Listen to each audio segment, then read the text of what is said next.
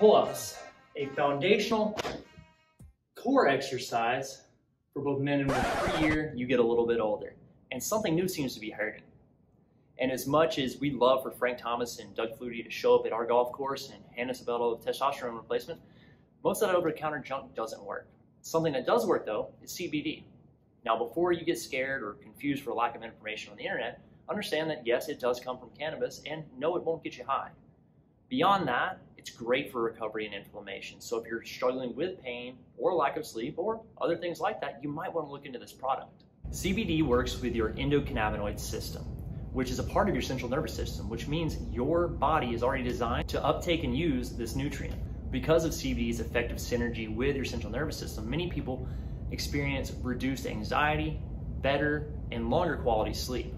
The reason that you feel like you might not be overcoming an injury or you feel an old injury that keeps coming back to the forefront is because you're fighting more than just inflammation.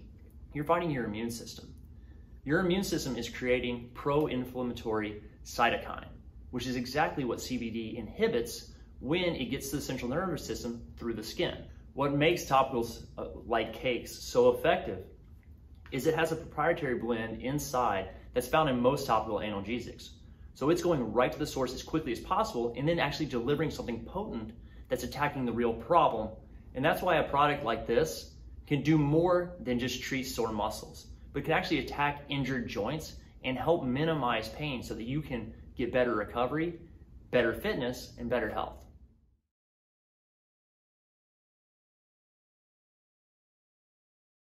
History credits Johann Bernhard Basedow as the creator of what we consider today to be the pull-up. Now, if you look into history, or you even look at a picture of Johann, you're probably not thinking pull-ups. And that's because Johann was the son of a wig maker. At the age of 14, he left home due to a less than stellar family dynamic and somehow got hooked up with a physician who gave him a job. Now, thankfully, physicians are smart because I don't know that I would trust a 14 year old as my physician's assistant, but he noticed Johann's intelligence and got him plugged back into school. Johann's new educational path led him to the University of Leipzig in Saxony, Germany, where he, like many college students, began focusing on reform. What needs to change and how can we go about making said change? Thanks to Johann's experience in Saxony and some post-grad work uh, as an independent tutor for noblemen's sons and daughters, Johann found that young people learn best in a combination of lecture and some form of outside play. You might think that a concept like this in the late 17 and early 1800s was probably not well received. But Johann went on to become a professor and later created his own school called the Philanthropinum. Yeah, I'm not going to say that one twice, but understand that philanthropy is the elevation of others, and that was Johann's goal. So much so that he helped them elevate themselves. But it was at the Philanthropinum that the curriculum around gymnastics and other outdoor activities was put into place and documented. From here on out, this exercise became documented going forward to today. And this is why we don't reference Greeks and Romans who have actually done these exercises in the past because they didn't continually show up in society from then until now. After the Philanthropinum, pull-ups were then showing up in curriculum like Virino and Baruch who coined it as a core exercise, but not in the way that you and I think of core exercises, this is core as in central and foundational to any fitness program. And they meant that for both sexes. Yes, they not only encouraged but taught women pull-ups. During this time and all the way up to the mid 1800s, pull-ups didn't have their current name.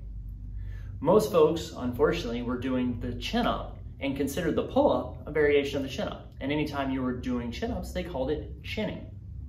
It wasn't until 1850 that Dr. George Barker Windship, who somehow got frustrated with traditional exercise, coined the phrase pull up when he started committing himself to calisthenics. And though the pull up has been prevalent since the 1770s, at least documented consistently on paper, it never really became that popular until the mid 1900s. And that's due to technology and marketing.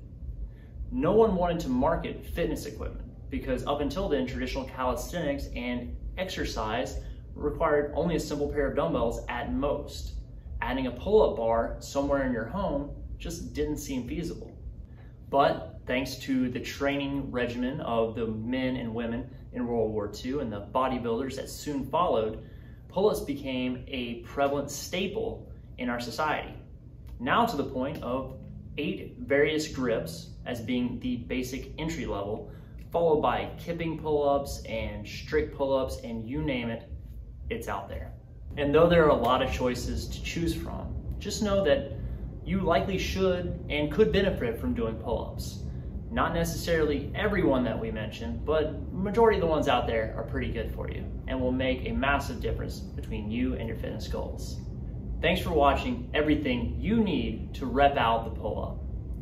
Big thanks to our sponsor, CAEX CBD, for everything from recovery to acute joint inflammation and all the inflammation in between, CAEX has you covered. Be sure to check out our link in the description below for your very own supply. You can also find it here in store at E3 Strength.